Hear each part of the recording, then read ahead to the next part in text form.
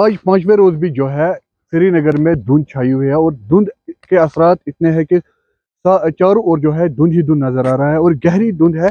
इस वक्त हम मौजूद है ज़िले डल के अंदरून हिस्से में और यहाँ पर भी देख सकते हो आपके धुंध कितनी छाई हुई है और दूर दूर तक अगर हम नज़र डालें तो कुछ भी नज़र नहीं आता है।